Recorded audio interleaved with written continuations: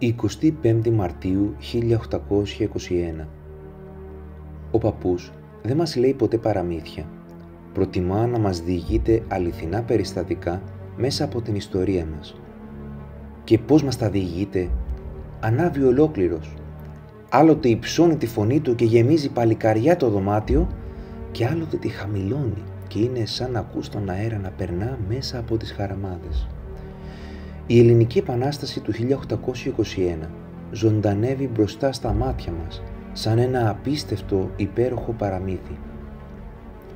Ο παππούς μας μιλά για τη φλόγα των Ελλήνων που δεν έσβησε ποτέ, για την πίστη τους που δεν χάθηκε ποτέ, για την παλικαριά τους και τον ηρωισμό τους που χάρισε σε μας τους νεότερους τον ελεύθερο ουρανό μας και ο παππούς διηγείται.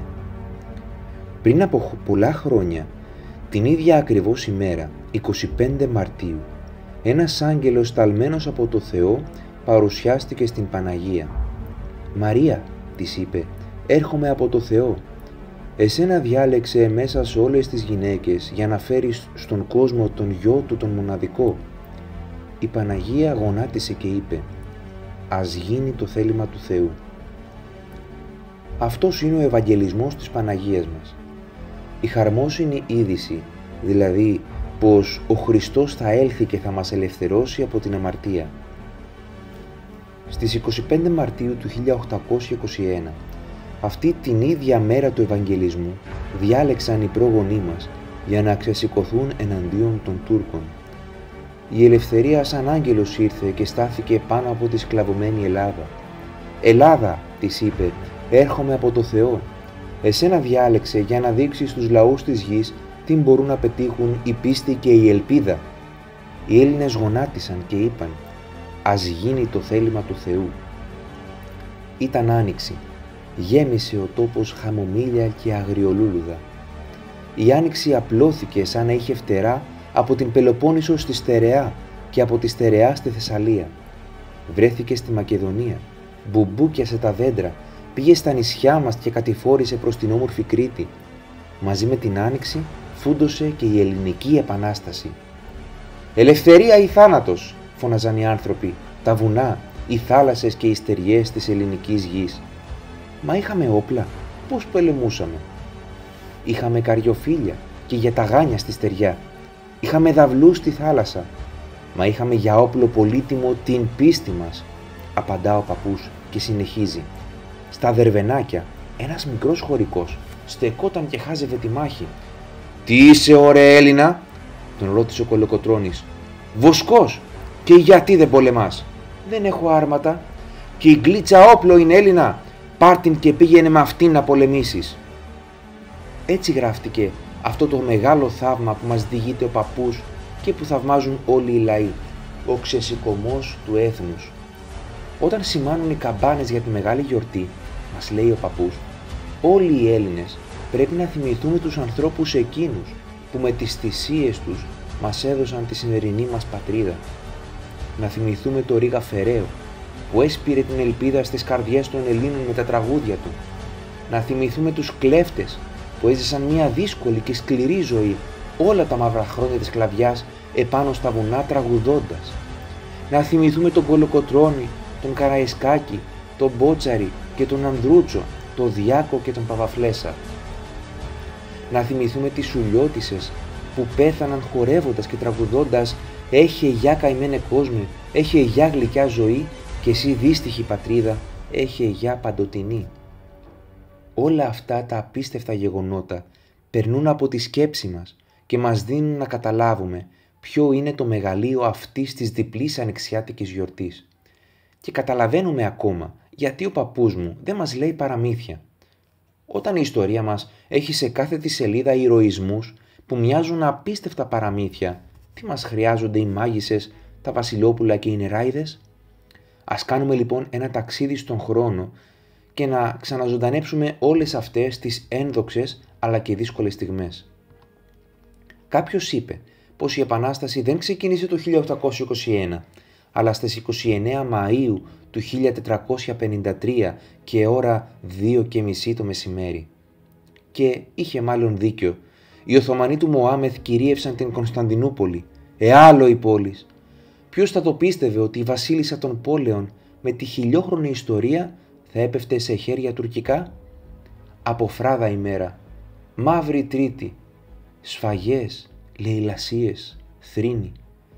Το σκοτάδι της κλαβιάς απλώνεται βαθύ. Αλλά ο Έλληνας δεν το σηκώνει τον ζυγό. Απ' την ίδια στιγμή εργάζεται την ελευθερία του. Με ένα όραμα ξυπνάει και κοιμάται, να δει την πατρίδα ελεύθερη. Και το προσπάθησε πολλές φορές σε αυτά τα 400 χρόνια, χωρίς όμως αποτέλεσμα. Φρικτά τα αντίπεινα των Τούρκων, ανυπόφορη η τουρκική σκλαβιά. Οι μεγάλες περιουσίες των Ελλήνων βρέθηκαν σε τουρκικά χέρια. Οι ραγιάδες, δηλαδή οι υπόδουλοι Έλληνες, ήταν υποχρεωμένοι να πληρώνουν βαρύτατους φόρους, τα λεγόμενα χαράτσια, και αλίμονος εκείνον που δεν είχε να πληρώσει. Τον φυλάκιζαν και άλλες φορές του πέραν το κεφάλι. Μα ο πιο βάρβαρος φόρος ήταν ο φόρος του αίματος, το φρικτό παιδομάζωμα, το βάρβαρο μέτρο που σκέφτηκαν πρώτοι οι Τούρκοι. Άρπαζαν τα μικρά παιδιά των Ελλήνων, τα οδηγούσαν στα βάθη της Ανατολής και εκεί δηλητηρίαζαν την τρυφερή τους ψυχή με μίσος για τους Έλληνες και γενικά για τους χριστιανούς. Ήταν οι ονομαστοί γενίτσαροι, οι πιο φανατικοί στρατιώτες του Ισλάμ. Και ήταν αβάσταχτος ο πόνος για τους κλαβωμένους να γνωρίζουν τα φοβερότερα βασανιστήρια από τα ίδια τους τα παιδιά. Και τα σχολεία έκλεισαν και απογορευόταν με ποινή θανάτου να μαθαίνουν γράμματα. Το μόνο που ήταν ελεύθερο στους Έλληνες ήταν να πηγαίνουν στις εκκλησίες και να προσκυνούν τον Θεό. Οι Έλληνες έπρεπε να αντισταθούν, να μην ξεχάσουν το παρελθόν και τις παραδόσεις τους. Αλλά πώς θα το κατόρθωναν αν τα παιδιά έμειναν αγράμματα; Τα βράδια λοιπόν γλιστρούσαν σαν φαντάσματα από γωνιά σε γωνιά και τρύπωναν στις εκκλησίες και στα μοναστήρια. Και εκεί οι ταπεινοί ιερείς και καλόγεροι μοχθούσαν να τα μάθουν να γράφουν και να διαβάζουν. Οι Έλληνες άρχισαν σιγά σιγά να συνέρχονται και δημιούργησαν τις πρώτες στρατιωτικές ομάδες, τους περίφημους κλέφτες. Οι κλέφτες έκαναν συχνά επιδρομές εναντίον των Τούρκων οι Τούρκοι προσπάθησαν να τους εξοντώσουν, μα δεν τα κατάφεραν. Έκαναν τότε μία πονηρή σκέψη.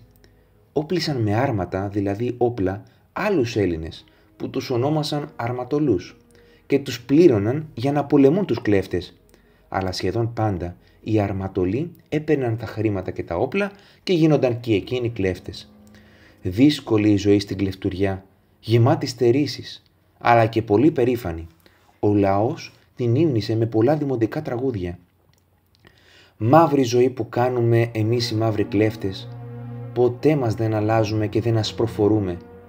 Όλη μερούλα πόλεμο, το βράδυ καραούλι, κοντά στα ξημερώματα γυρίσω να πλαγιάσω. Το χέρι μου προσκέφαλο και το σπαθί μου στρώμα, το καραϊοφίλι μου αγκαλιά σαν το παιδί τη μάνα. Ανάμεσα σε όλους τους κλέφτες ξεχώρισε ο θρηλυκός καπετάν Ζαχαριάς Μπαρμπιτσιώτης, ο δάσκαλος της κλεφτουριάς.